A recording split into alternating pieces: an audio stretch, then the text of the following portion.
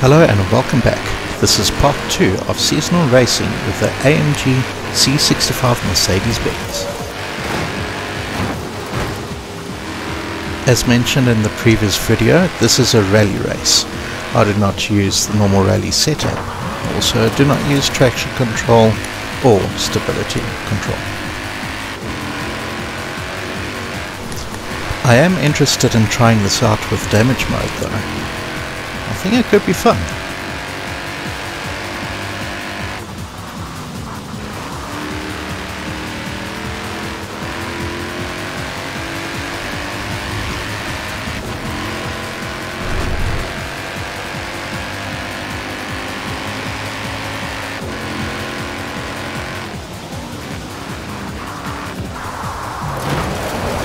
Almost got that right, just had a bit of a collision there.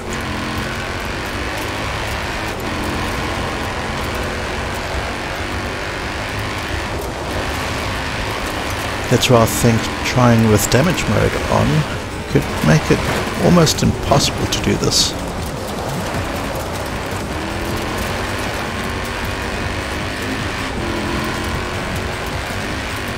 I love the special effects in this game.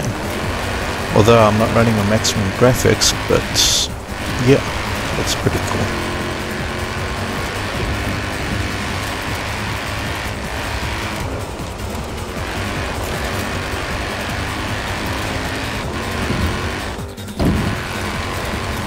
Hit the brakes, hard, hard, hard, and around the corner, of our sign. I got that right. This car doesn't have much of a top speed. Acceleration is pretty decent as it is all-wheel drive, so grip on all four tires. Yeah, I like this car quite a lot.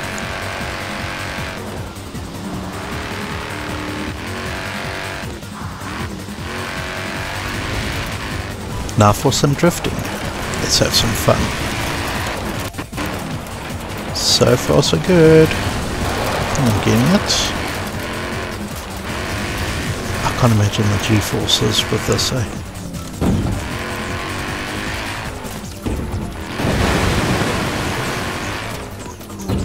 Yo, okay. I think I'm getting this. Good, good, good. And around we go. Round, around. Holding together.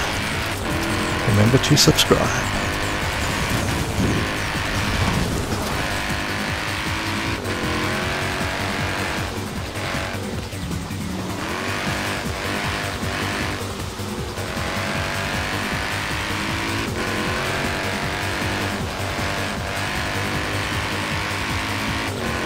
It's the finish line. Come on, come on, come on. Got it.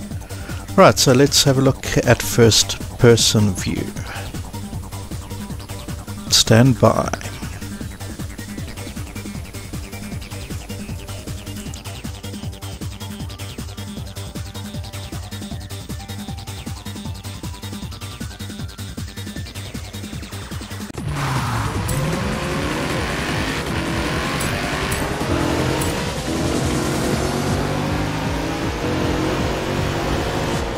First person view is still my favorite. To me it's just so much easier. I don't know why, I could never ever get into the third person view for racing. I'm completely inaccurate with it. Whereas first person view, perfectly fine.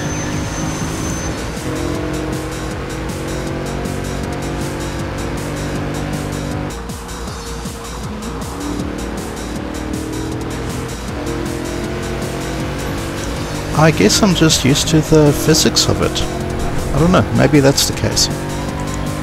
I'm also getting quite used to left-hand drive vehicles as well. In my country we are right-hand drive and yeah, it is quite a difference. Swapping between the two is never easy, especially when the ro road rules change. I found seeing the steering wheel counter in cornering and drifting. I think that is what makes it easier for me to understand what's happening with the car as well. So I guess it's a form of visual aid.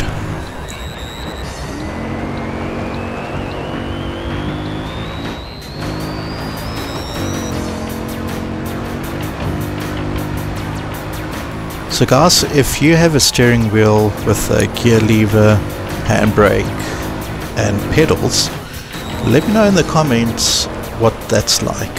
Is it accurate? Is it more fun? Do you still get ones with force feedback? I'm curious. Let me know.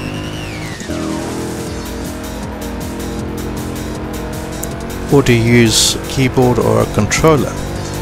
I personally am using a controller at the moment.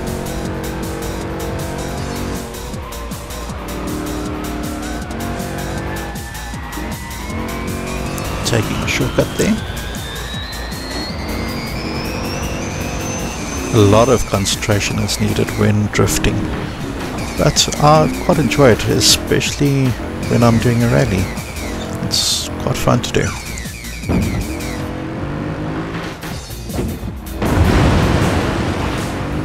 This brings a whole new meaning to flying cars.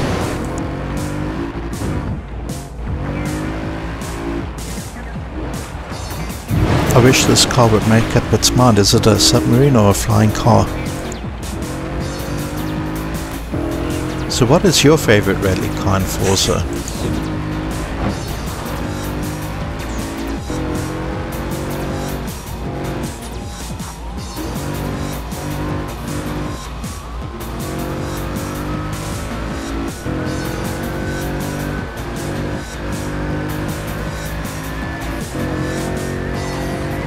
And that's a wrap.